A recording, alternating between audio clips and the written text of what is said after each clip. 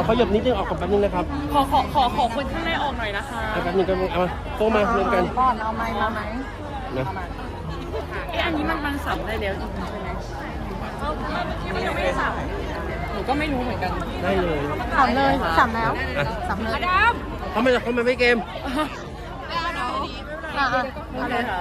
เป็นไงบ้างเราสู้มาจนวินาทีสุดท้ายเรารู้สึกภูมิใจอะไรยังไงบ้าง อ๋อจริงๆก็ภูมิใจค่ะ เพราะว่าเราคิดว่าเราจะอยู่ที่รองหนึ่งละพุน แต่เราก็บังเอิญมาได้ถึงจุดนี้นะคะ แล้วก็ระหว่างทางเจออะไรมากมายค่ะที่ถือว่ามีค่า แล้วก็รู้สึกเจอความสามารถที่ตัวเองไม่คิดว่าตัวเองจะทำได้ไม่ว่าจะเป็นแบบการขายของ การเดินที่อาจจะไม่ได้ดีที่สุดแต่ก็ดีมากๆอะไรอย่างเงี้ยค่ะและที่สำคัญก็คืออ่า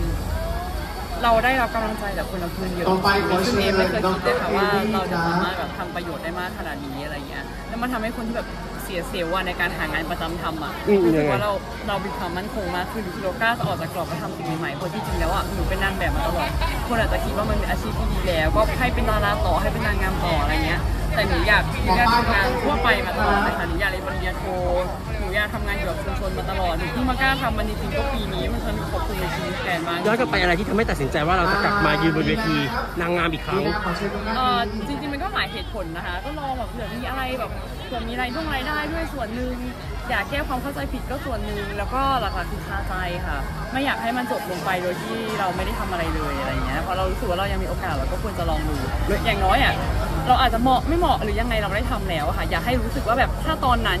อยากให้ชีวิตมีคำว่าถ้าตอนนั้นค่ะอะไรที่ความเข้าใจผิดที่เราอยากกลับมาบอกว่าเราอยากมาแก้ตรงนี้อีกนิดเดียวครับหมายถึงกับไอ้ทิ้งเหรอคะประมาณใช่ไม่ไม่ใช่เมื่อกี้ที่เราบอกว่าอยากมาแก้ความเข้าใจผิดว่าอะไรอย่างอ๋นี้ อ มันก็หลายเรื่องค่ะ ต้องยอมรับจริงๆ อย่างล่าสุดก็เพิ่งมีคนที่อยู่ในเหตุการณ์ปี 2019 ออกมาพูดว่า ตอนนั้นเนี่ยเราไม่ได้รู้คำตอบก่อน ซึ่งเราก็ไม่เข้าใจว่าทำไมปีนั้นถึงขอเชิญน้องอุ้มมอบช่อดอกไม้ให้กว่าที่ความแต่ละอย่างมันจะเปิดเผยอะค่ะ คนก็เข้าใจผิดเกี่ยวกับเราไปเยอะแล้ว ซึ่งบางทีเนี่ยค่ะไม่มีอคติต่อคนรอบตัวและเป็นคนที่เรารักด้วย เอ็มรู้สึกว่าใครจะอะไรกับเอ็มไม่สนใจ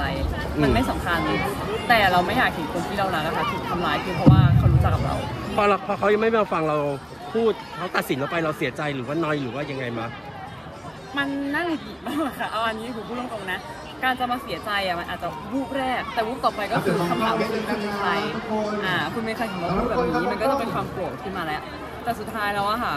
คนเขาต้องรู้จักเรามากแค่ไหนต่อไปขอเชิญ Revo Mate แล้วต้องรู้จักเรามากครับแค่ไหนขอเชิญ Revo Mate ได้เลยครับ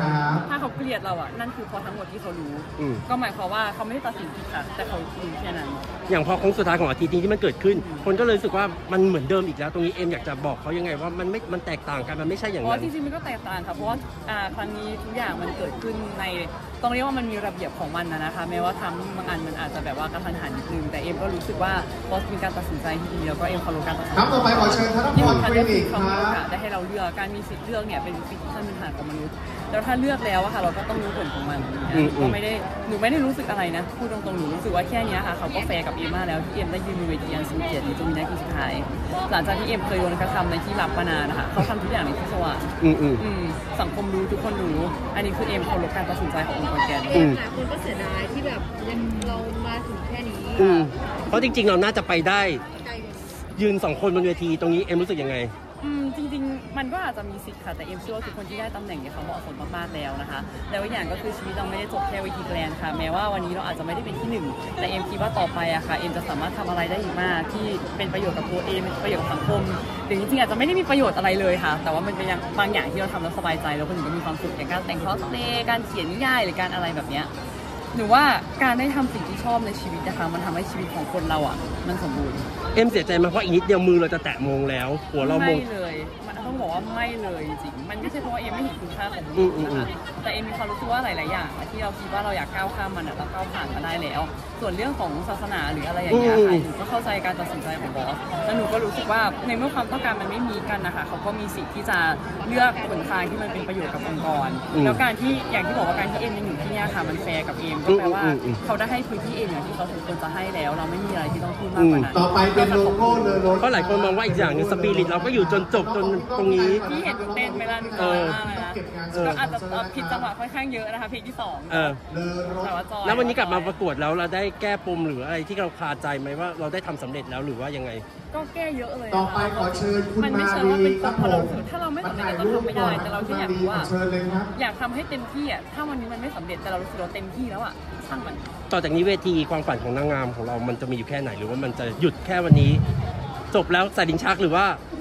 ยังไง เอ่อจริงๆ หนูไม่ใช่คนที่แบบอยากเป็นนางงามมากมาตั้งแต่ต้นแต่ว่าหนูชอบ concept ของเวทีนางงามอะคือการที่ได้มา challenge หลายๆอย่าง มันทำให้เรารู้สึกสนุก ไม่ว่าจะเป็นอ่าเรื่องของเวทีกับชุมชนนะคะ การ represent ของท้องถิ่นอะอะไรขอเชิญสวยแบบหรือแม้แต่การตอบคำถาม Lucy Market Clinic ครับความ paradox ของเวทีที่ขายความสวย แต่ก็อยากจะขยาย diversity อืมๆแล้วอ๋อสวยแบบตรงนี้เราจะพัฒนาไปถึงตอนไหนอะไรเงี้ยเดี๋ยวเชิมัญนเป็นสิ่งที่น่าสนใจ แต่พอเรา explore มาถึงจุดหนึ่งอะอะถ้าเกิดใครอยากไปใช้บริการอาหารที่ใช้เราได้ทานนะครับบ่อยติดต่อมาดามมารีเราได้รู้เลสึกยว่าวันนะคหนึรับงเราจะคิดถึงนะแต่วันนี้อาจจะไม่ใช่อาจจะอยากเปลี่ยนไปทานอย่างอื่นก่อนอืมเอ็มจะสานต่อ mindset ที่เราคิดไว้ยังไงต่อมาดามมารี mindset ที่เราตั้งไว้ว่าเราจะต้องรณรงค์อย่างนี้หรือว่าเราจะอยากทำอะไรอย่างเงี้ยจริงๆเอ็มว่ามันไม่ต้องสานต่อค่ะเพราะว่ามันอยู่ในธรรมชาติของเรา มันเป็นสิ่งที่เรารู้สึกกับทุกๆเรื่องในชีวิตไม่ได้คือมันอาจจะมีคนบางคนนะคะที่มีความรู้สึกว่าถ้าเจอเรื่องประมาณเนี้ยเพราะฉะนั้นเขาจะไม่พูดอะไรอะไรเอ็มก็มีเรื่องที่เอ็มไม่พูดอะไรแต่เอ็มก็มีเรื่องที่เอ็มขอเชิญเสริมแบบซึ่งพอมันอยู่ในธรรมชาติโรซี่หน่อยครับของเราอะค่ะเราไม่จำเป็นต้องพยายามที่จะสานต่อมัน พี่ถามตรงๆเลยอยากกลับมาประกวดนางงามอีกไหมเอ่ออะทุกคนพูดตรงๆนะมองกล้องนิดนึงชอบครับบอลมันขัดแย้งเลยมันดูขัดแย้งกันลูกคือคือเอ็มที่ให้ดูว่าบางทีอะค่ะ เราอาจจะไม่ได้ทุกอย่างที่เราต้องการ แต่ว่าเราต้องเราต้องเลือกทำบางอย่างในบางช่วงค่ะ เพื่อจะทำเป้าหมายให้รู้เรื่อง ซึ่งหนูก็นอนน้อยมาหนึ่งเดือน แต่ว่ามันก็รู้เรื่องแล้วต่อจากนี้หนูก็จะกลับไปนอนค่ะแล้วก็ทำงานด้านอื่นอะไรที่มุมนางงามเราคิดว่าเราทำสำเร็จแล้วหรือยังเอ็ มว่ามันสำเร็จนะ วันนี้เอ็มไม่ได้มีมงกุฎอะไรอะยกเว้นมงขวัญใจเชียงใหม่ที่อันนั้นเอ็มภูมิใจจริงๆอ่านะเพราะว่าพี่โน้ตชอบปากกายอก็มาเชียร์ด้วยอ่าแต่เอ็มมีความรู้สึกว่าหลายๆอย่างที่เราพูดต่อไปขอเชิญยาก for YouTube ครับทำให้เกิดขอเชิญข้มูล for YouTube ครับอ่าในในประเด็นที่มันขอบคุณไม่คุณมาไม่รีด้วยนะครับ ในเวทีนางงามมันไม่ได้ถูกตั้งเป็นคำกลับถามบ้านเลยไฟนะนอลรอบรองไฟนอลด้วยซ้เอาำแต่ว่ามันกลายเป็นสิ่งที่ทุกคนทุกที่ค่ะพูดถึงแล้วตระหนักรู้ว่าเราอาจจะไม่เคยคิดว่ามาก่อนว่ามันสำคัญหรือไม่เคยคิดถึงกลุ่มคนกลุ่มอื่นมาก่อนอะไรอย่างเงี้ยค่ะอืมหรือว่าหนูขอเชิญก็คิดแล้วนะ for YouTube ครับเราอยากเปลี่ยนวงการนางงามเราอยากทำให้สังคมกระเพื่อมอืม เราก็กระเพื่อมแล้วแม้ว่าเท้าเรายังติดอยู่ก็ตาม อืมอืมรู้สึกไงมงไม่ลงแต่คนรักเพิ่มมากขึ้น จริงๆก็ดีใจค่ะ เพราะว่าเอม คนรักในตัวเอมอะเอมดีๆแต่เอมอยากให้คนรักในสิ่งที่เอมพูดเนาะเป็นเรื่องของสิทธิมนุษยชนนะคะเรื่องของชาติพันธุ์จังหวัดลำพูนเองหรือแม้แต่ว่าอ่าการเผยแพร่ทางศาสนาก็ตาม การที่คนเราหันมารักในสิ่งเหล่านี้ค่ะมันทำให้ประเทศไทยได้อยู่